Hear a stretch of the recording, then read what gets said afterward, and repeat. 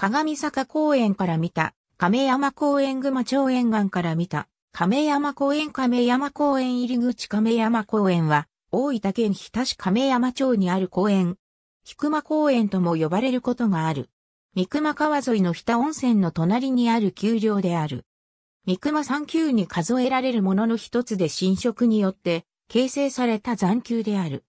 源氏元年に五漢時代の同僚作細線式重大橋が出土した古墳跡でもあり、安土桃山時代には引熊城が築かれていた。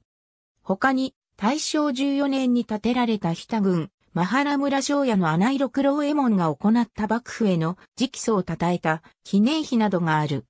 昭和11年に始められた北川開き観光祭の発祥地でもあり、児童公園として整備され、春には桜の名所となる。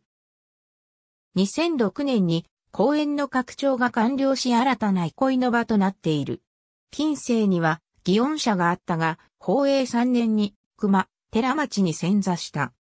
太平洋戦争終結直後までは、北県初代知事を務めた松方正義を祀った松方神社が山頂の南東にあったが、太平洋戦争で日本が敗戦した後、GHQ の命令によって撤去され、建物などは撤去移築された。現在、山頂には菊間神社があり、五代五天皇、楠木正成、春日大明神の御柱を祀り、拝殿には大久保利道が書いた清山、西郷隆盛の書いた菊間神社の変額がある。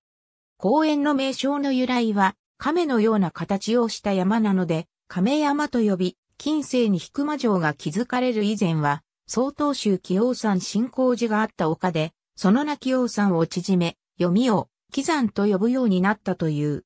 小説家の柴良太郎は、気候文集、街道を行くで、管理園に集まった漢学書生によるものと解釈している。亀山公園は、元は、日の愛山、日愛山と言い、月熊山が豆田の城山とも呼ばれることに対して日愛山は、熊の城山とも言う。ありがとうございます。